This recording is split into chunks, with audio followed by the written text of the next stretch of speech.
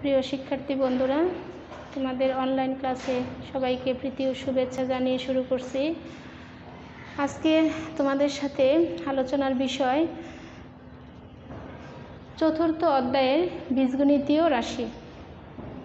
চতুর্থ অধ্যায় বীজগণিতীয় রাশির পাঠ শিরোনাম সদৃশ এবং বিসদৃশ। সদৃশ এবং বিসদৃশ কথাটার অর্থ কী? আগে এই জিনিসটা ভালো করে বুঝতে হবে। সদৃশ কথাটার অর্থ হলো মিল বা একই। বিসদৃশ কথাটার অর্থ হলো অমিল বা একরকম নয়। আবারও বলছি, আলোচনার শিরোনাম সদৃশ এবং বিসদৃশ শুরুতেই সদৃশ সদৃশ বাংলা শব্দটার অর্থ গণিতের ভাষায় মিল বা একই রকম। বিসদৃশ হলো অমিল বা ভিন্ন রকম। আচ্ছা। সদৃশ্য পদ উদাহরণ হিসাবে তিনটা উদাহরণ আমার সামনে উপস্থিত। তিনটা উদাহরণ তোমরা খুব ভালোভাবে লক্ষ্য করবা, সদৃশ কি হলে সদৃশ হবে আর কি হলে বিসদৃশ হবে? প্রথমে হলো সদৃশ্যের বিষয়। উদাহরণ হিসাবে দেখো, সামনে এনেছি five A seven A three X square three Y square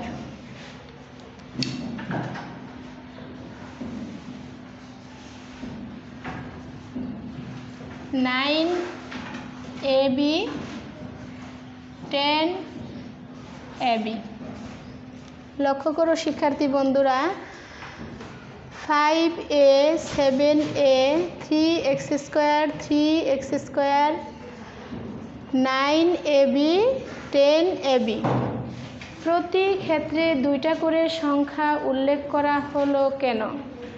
যেহেতু তোমাদেরকে সদৃশ কথাটা বোঝাতে হবে, আর সদৃশ বোঝাতে গেলে আমাকে কমপক্ষে একের অধিক উদাহরণ সামনে আনতে হবে। একের অধিক সংখ্যা যখন আমি তুলনা করে তোমাদের বুঝাবো, তখনই তোমরা বুঝবা যে সে সদৃশ। তাহলে এখানে এর সংখ্যা পাঁচ, এখানে এর সংখ্যা সেভেন। প্রশ্ন জাগলো মনে, টিচার বীজগণিতীয় রাশিটা হলো এ বীজগণিতীয় সংখ্যাটা হলো ফাইভ এবং সেভেন ফাইভ এবং সেভেন অমিল, কিন্তু বীজগণিতীয় রাশিটা এ এটা হলো মিল। তাহলে আমি কি করে বুঝব এটা সদৃশ বা কেন সদৃশ? তোমরা মনে রাখবা, বীজগণিতীয় রাশির সাংখ্যিক সহগ, বীজগণিতীয় রাশিটা হলো ফাইভ এ আমরা পাটিগণিতে লিখি ধরো সেভেন বীজগণিতে লিখি সেভেন এখানে লিখি ধরো দশ। এখানে লিখি টেন এ এই দুটা জিনিসের ভাষা হলো বীজগণিতে সংখ্যা সহগের সাথে চলক ব্যবহার করা হয়, পাটিগণিতে সংখ্যার সাথে চলক ব্যবহার করা হয় না। পাটিগণিতের ভাষা হলো বাংলা, বীজগণিতের ভাষা হলো ইংরেজি। আচ্ছা। এই বীজগণিতে এই জন্য ফাইভ সেভেন ইংরেজি রূপে চলক ফাইভ এ এবং এ তোমরা তাহলে চিন্তা করবা, চলক একই জাতীয় হলে সহগ যদি ভিন্ন হয়, তাহলে তারা সদৃশ না বিসদৃশ? উত্তরে তোমরা নিশ্চয়ই বলবে টিচার সদৃশ। দেখো আমি নোট লিখে দিছি নিচে একাধিক পদে সাংখ্যিক সহগ সমান না হলেও একাধিক পদ ফাইভে সেভেনে সাংখ্যিক সহগ, এখানে সাংখ্যিক সহগ ফাইভ তোমাদের ক্লাসে আমি ভালো করে শিখিয়ে আসছি সাংখ্যিক সহগ কে, আক্ষরিক সহগ কে। এখানে সাংখ্যিক সহগ সেভেন দুইজন সমান না। যদি সমান না হয়, তবুও বীজগণিতীয় প্রতীক যদি একই হয়, তাহলে তারা কি? সদৃশ। তাহলে উত্তরে আমার ক সদৃশ, খ সদৃশ, গ সদৃশ। খ নাম্বার প্রশ্নে আছে, উভয় পদের সাংখ্যিক সহগ এক। এই জন্যই কি সদৃশ? কনঙে আছে, উভয় পদের সাংখ্যিক সহগ ভিন্ন। এজন্যই কি সদৃশ? না। সাংখ্যিক সহগটা ভিন্ন হলেও তোমার সদৃশ হওয়ার সুযোগ থাকে। সাংখ্যিক সহগ তোমার একই হলেও সদৃশ হওয়ার সুযোগ থাকে। তবে তোমাকে সঙ্গে চিন্তা করতে হবে, সাংখ্যিক সহগের সাথে যে চলকটা আমি একাধিক পদে ব্যবহার করেছি, তার চেহারা উভয় সংখ্যার সাথে একই রকম কিনা, তাহলে সংখ্যাটা হবে সদৃশ। নিচে three X square three X square এখানে এক্স স্কোয়ার এক্স স্কোয়ারের রূপ যদি একই রকম থাকে, তাহলে সদৃশ হবে। এখানে তিনের পরিবর্তে যদি তুমি তিনশো লিখো, ত্রিশ লিখো, পঁয়তাল্লিশ লিখো, তাও কোনো সমস্যা নেই। আসো নিচে। এতক্ষণ বীজগণিতীয় প্রতীক একটা করে শিখিয়েছিলাম। দ্বিতীয়তে পাওয়ার দিয়ে শিখিয়েছি, তৃতীয়তে দুইটা করে নিয়েছি। সংখ্যা সহগ নাইন বীজগণিতীয় প্রতীক এবি সংখ্যা সহগ টেন বীজগণিতীয় প্রতীক এবি তোমার দৃষ্টি হলো বীজগণিতীয় প্রতীক এবি এবির দিকে। সংখ্যা সহগ নাইন, টেনের প্রতি নয়। তারা যাই থাকুক না কেন, তোমার এই দুইটা জিনিসের প্রতি দৃষ্টি রাখতে হবে। যদি মনে করো এইখানে আছে এবি এইখানে আছে এ বি স্কোয়ার। প্রশ্ন জাগে, ম্যাডাম, আগে এ বি আছে? দ্বিতীয়ত তো এ বিই আছে। তাহলে কেন তারা মিল হইল না? মিল হলো না এই কারণে যে এইখানে এ বি এর পাওয়ার নাই, এখানে বি এর পাওয়ার আছে। তাহলে সদৃশ হওয়ার কোনো চান্স নাই। অর্থাৎ একই চেহারার হইতে হবে। প্রিয় শিক্ষার্থী বন্ধুরা, আমার মনে হয় বিষয়টি তোমরা ভালোভাবেই অনুধাবন করেছ। এবার আসো, আমরা বিসদৃশ পদকে নিয়ে আলোচনা করি। যখন বিসদৃশ শব্দটা আমাদের সামনে আসলো, কথাটার অর্থটা বুঝে নিতে হবে। বিসদৃশ কথাটার অর্থ হলো অমিল। বাংলা পারিভাষিক শব্দটা হলো অমিল। মানে তুমি তার মধ্যে মিল খুঁজে পাবা না। এখন মিল তুমি খুঁজবা কাকে নিয়ে? সংখ্যা সহগকে নিয়ে নাকি বীজগণিতীয় রাশিকে নিয়ে? অবশ্যই মনে রাখতে হবে, বীজগণিতীয় রাশিকে নিয়ে। সংখ্যা সহগ তোমার মাথা থেকে বাদ দিবা। থাকলেও থাকতে পারে, নাও থাকতে পারে। আর সংখ্যা সহগ শুরুতে হবে, অক্ষর প্রতীক তারপরে হবে। এই কথাটাও তোমরা মনে রাখবা।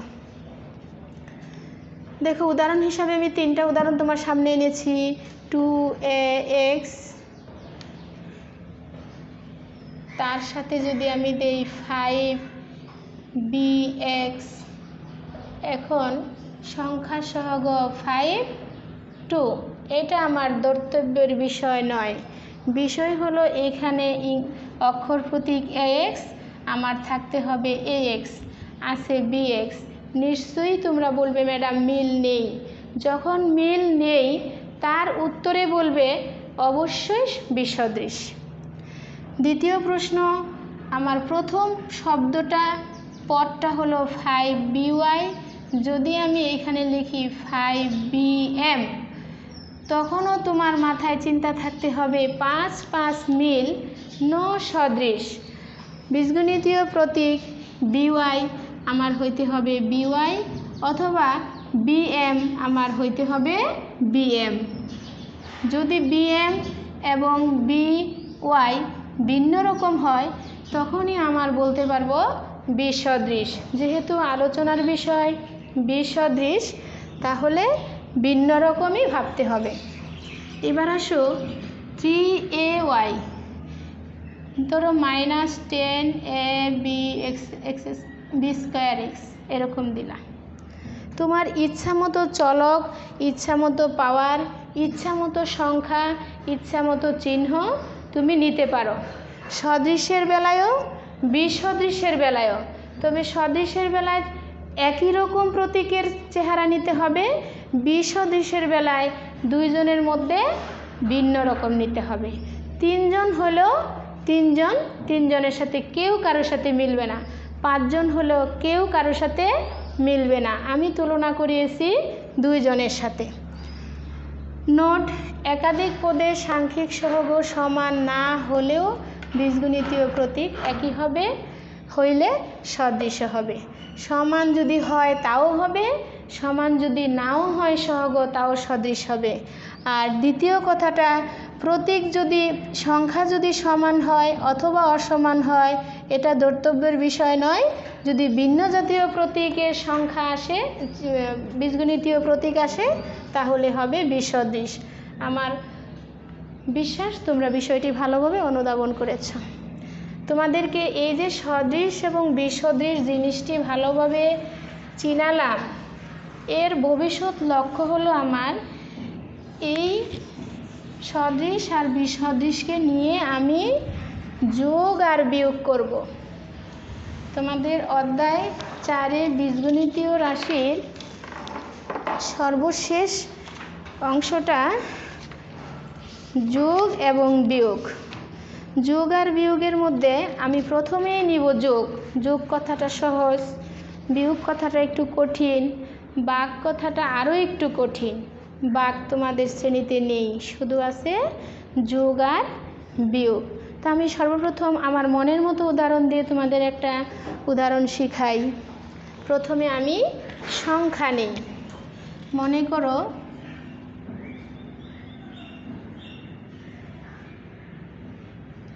three A plus two B একটা রাশি। আরেকটা রাশি নিলাম। Five A plus seven B. এক নাম্বার অঙ্ক। নির্দেশনা দিলাম, যোগ করো।